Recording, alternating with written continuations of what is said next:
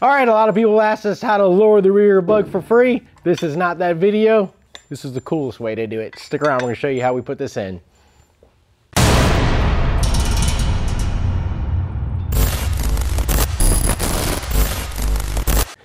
All right, welcome back to the channel. If you're into Volkswagens, welding, fabrication, you're in the right place.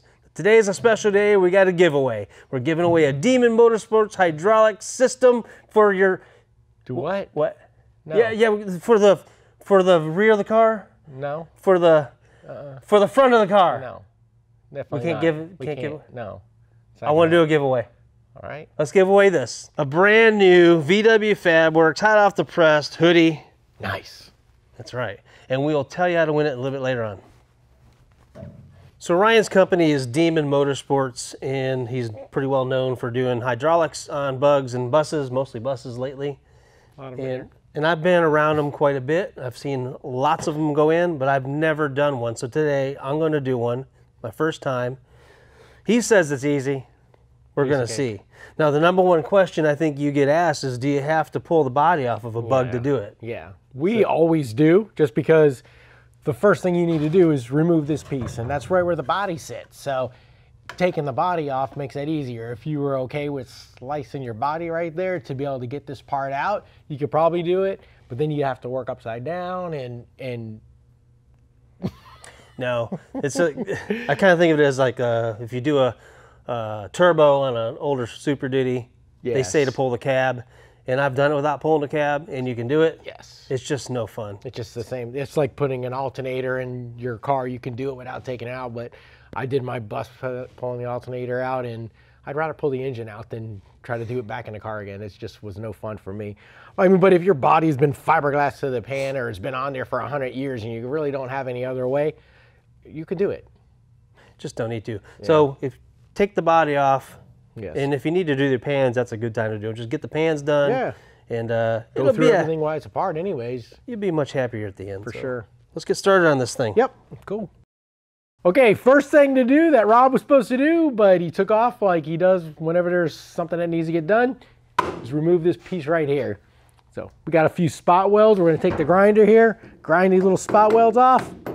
And there's a couple down in here. Then we'll get a hammer and chisel and knock this piece. It's just tin. We got a replacement piece that goes in here, so we don't need to save that piece at all. It's all garbage. So safety gear, start grinding.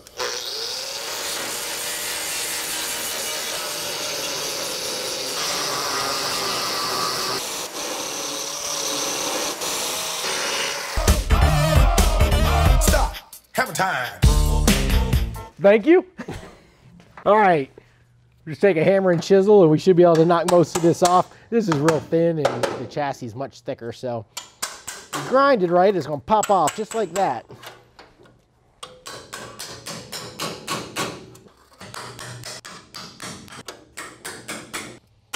A couple places in the corners here where it's hard to get the grinder in there, so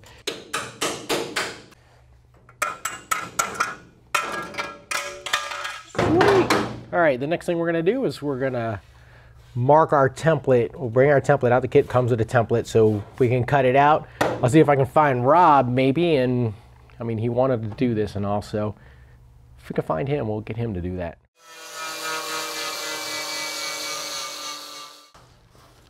All right, getting all cleaned up. Let's get started. All right, the biggest concern everybody has when they uh, call and ask about doing these kits is cutting into this thing and making sure they get it right, and they're, they're worried because uh, it seems complicated, but it's actually not. Uh, fortunately, Ryan has these templates made up, and he sends them with the kits that he sends out, so it makes it real easy. This bottom one here centers up the, the center of the back here. So all you have to do there really is uh, put it on your little mouse there and bend this over and then you get a, a mark right here. That's going to be the center of that tube. Then you can take a straight edge from the front. Now that uh, emergency brake up there is pretty centered. It's close enough for what we're doing. Line up your straight edge there. Kind of bring it down to your, your mark down there. Then all you have to do is get you a mark up here. We're halfway there. That's the other template he has. It lays in right here. Then you can kind of bend it over, line up your mark in the front. It starts at this little edge here. So you get that lined up up there and you can put a magnet in there, get you get your where you want to be. Then everything's all you do is now is trace around this template. That's where you're going to cut. And it's not precision. It's just got to be close so you don't have to fill in a big hole when you when you're welding it. And the one thing to look for is up under here. That's where your serial number is right there. Some of them this line here will actually go up past into the, the serial number and you don't want to cut that off. Kind of makes it illegal. So you can just cut back a little farther here. Just if you got to take off a quarter inch, half inch, whatever you got to do, just cut back a little bit farther and you're good to go. It'll all be fine. So get the tracing this and we'll cut it out. All right, we got everything all laid out with our templates. All we gotta do now is take the angle grinder and cut it out. Easy peasy. Hold on. I gotta take this dude. Here. Here. Uh, uh,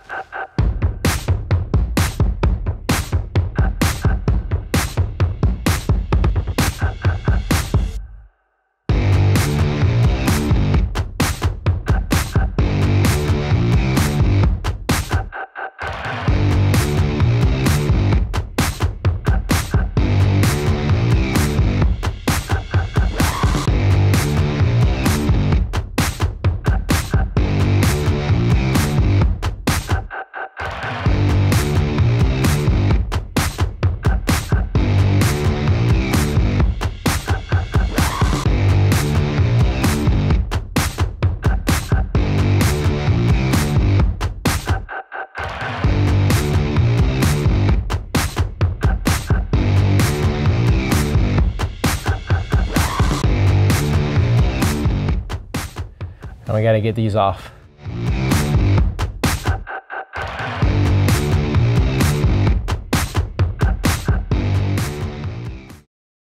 All right, if you haven't noticed by now, this is a thing tub. They're almost the same as the bug. The little bit difference is in the pan, and of course it has this uh, truss over the torsion housing, which makes it a lot stronger if you're going off-road and whatnot for those things. Uh, another thing is we talked about doing the pans earlier. Don't do what this guy did. He's got them all welded in, took the time to put them in, but didn't finish the job. They're all opened up, and you know, these pans come with a, a slice in it here, so you can kind of custom fit them to each different uh, chassis, but yeah, don't do that. We're gonna have to fix that because that's that's no good. So what we're going to have to do, it's a little out of order if you're doing a bug. We're gonna cut through this torsion, uh, torsion truss and uh, flip it back over, cut through the torsion tube housing and uh, then flip it back over. So it's a little out of order, but that's why uh, we said to pull the body off because you're gonna have to work underneath this thing and you have to do some other cutting up under here so it's a lot easier to go that route. So let's get her cut off and get going.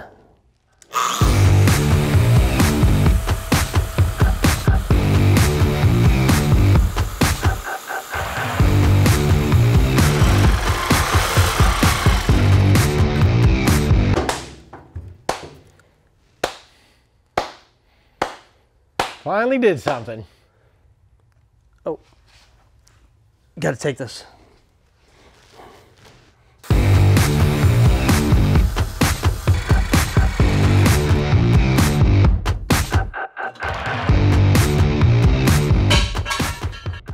Next, we're gonna cut out our torsion housing here, and it's six inches. Our part that fits in here is six inches. So what we go is go off that center line that Rob drew earlier, and we'll just mark three inches to each side of that.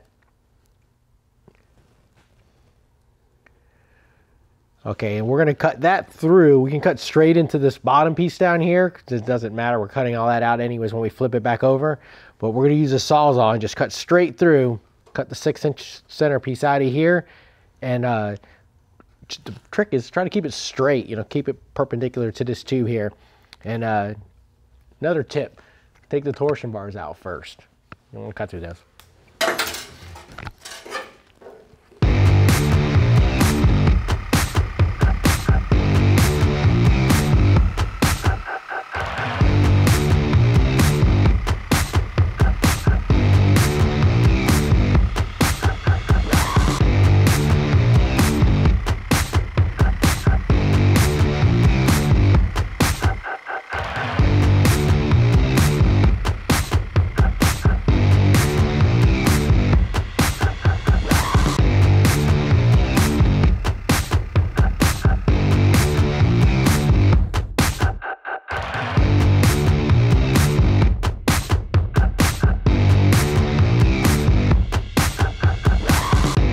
Last piece of cutout. Take our last template here. We'll line it up. There's an edge right here behind the, or it's actually forward of the trans mount right there. We just line this piece right up, up there. On this part, the, the, the new piece is going to overlap all the sides all the way around and the back's not going to matter but this front edge is the only place where it doesn't because there's got these little bumps in here on the on the chassis so if you're concerned that you might cut it too long have a big gap in there you can just you know cut you know, mark it but then cut it short and when you test fit your part in there you can bump it up till it's perfect so mark that out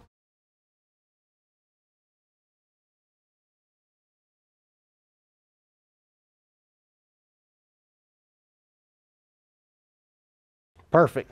Now let's find Rob. Make him cut that out.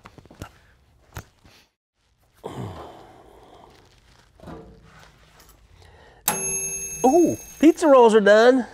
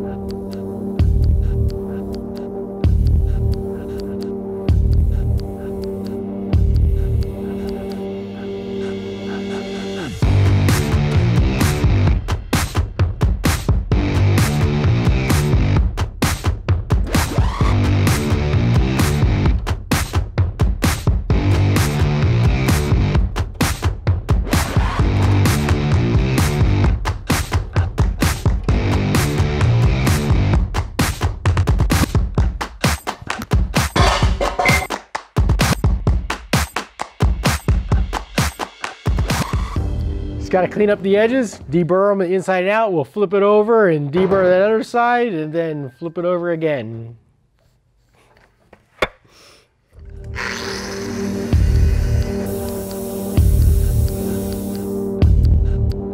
All right, the next thing we're gonna do is move these, all these cable lines. They all have to get pushed out so they're inside of the, or outside of the, the cylinders right here.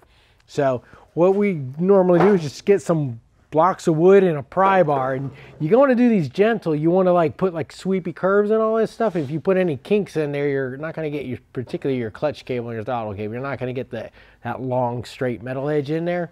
So i usually just stick a block in there and just start you know just work it slow. What you can do by hand the little ones you can do by hand push that out of the way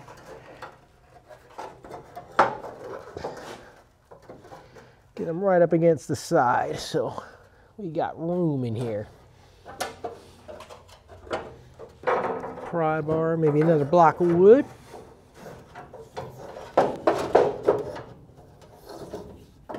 Hmm, that's a little awkward.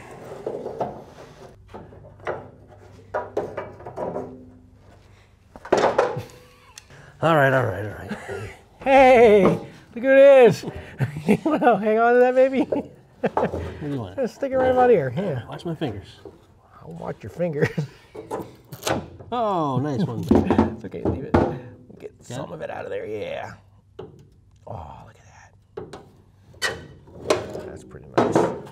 Push that back down here. Not too far off. A little bit more. We'll do a little bit further forward of it now. Or rearward of it, I say. Yeah, closer to that. Sorry. Put it back over here. Over here. Yeah. Ah, Oh, watch the fingers. okay. How that looks.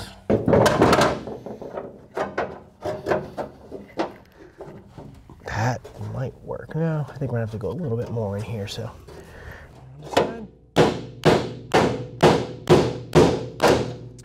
Looks like we got some clearance in there. Let's see if we're even remotely close.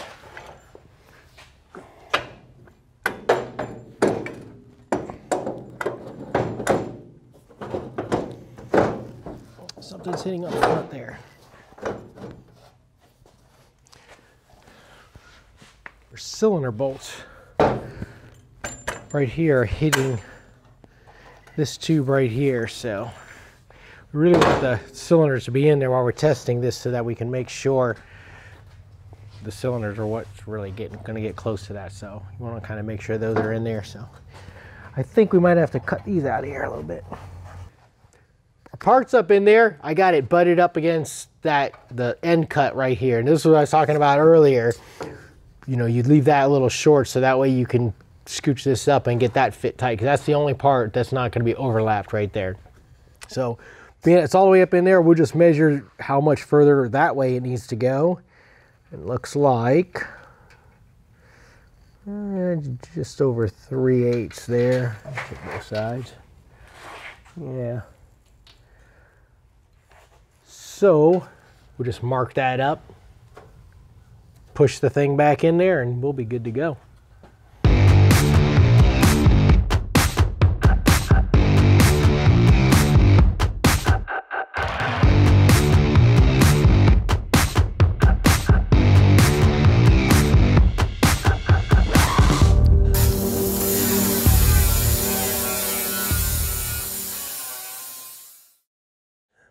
Ryan's got this notched out, moved it up just a little bit. Now it fits perfect back in here. Um, the first time we've ever seen this, the, the, the thing is a little bit more dished out down here. If you look at the, the assembly, it's you know about I'd say about 30 degrees. I don't know the degrees, but it's around there.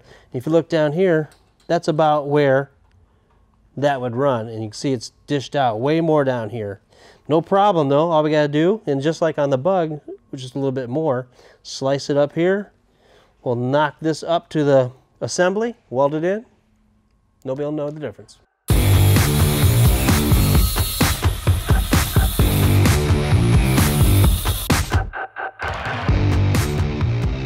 Okay, hole's all done, all cleaned up. We cut a slot on either side down here so that we can bang that up after we uh, put this in. But right now we're gonna go ahead and flip this over, set it in place. We'll line up the torsion tube part, this part here with this and tack it in place. Then we'll shove the torsion bars in and double check at the ends that, you know, nothing looks out of whack and just a nice double check. It's quick and easy to do. There's gonna be some slop in those, you know, you can move them around a little bit, but it'll get you somewhere. So let's see how this fits. Just like that. Perfect. All right, get the welder out.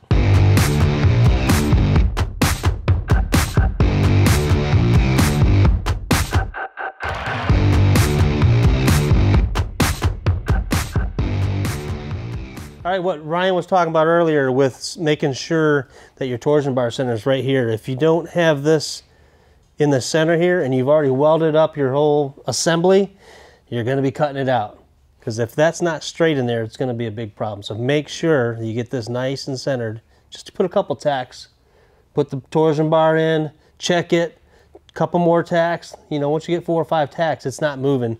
And uh, then weld her off and you'll be good.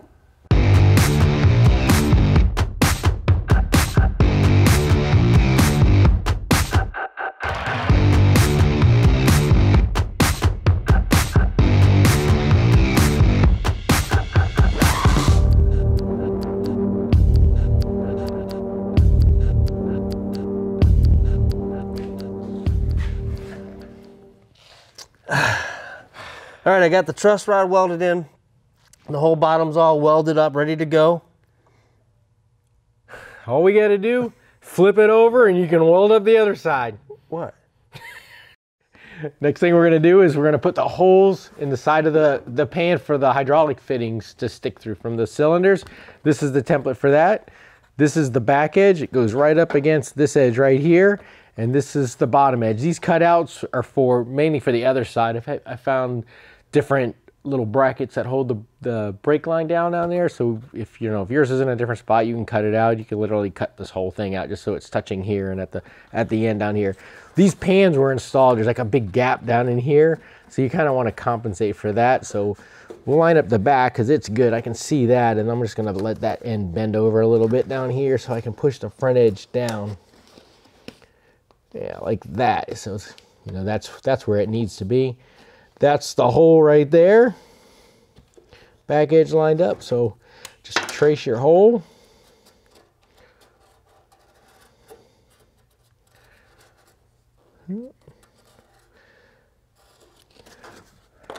You need to put a hole right there.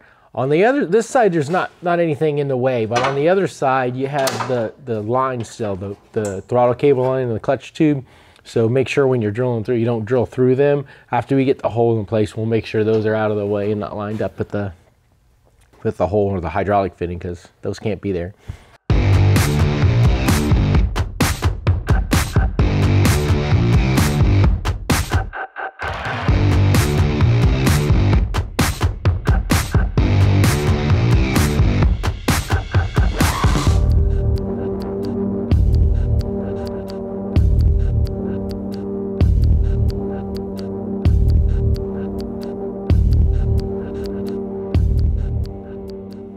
Last thing Rob's got to do is install the top piece that we cut off. Like the first thing we did is the last piece here. So this piece you just slide on, line up your throttle and clutch tubes there, line up the back edge. Right down here where the, sl the slots end. Make sure everything's nice and straight. This lines up and you know that was the piece, that's where the body's gonna sit there. He's got little copes for the, the arms to finish coming up through. And uh, we'll go ahead and weld that in and then we'll tack up the clutch and the throttle cable tubes here. We've already clearanced all that inside there and checked it with the clutch cable to make sure the clutch, the, that thick part of the clutch tube can go in. That's the worst part of it. So you want to check them both though, make sure all that works. Make sure you're not rubbing the cylinder in here, which we've done, and weld it up and We'll do one last thing. We'll check to make sure our cylinders work right here where, the, where we had to cut it back a little bit to make sure it ain't hitting. If they are, we'll bend it up a little bit and be good to go.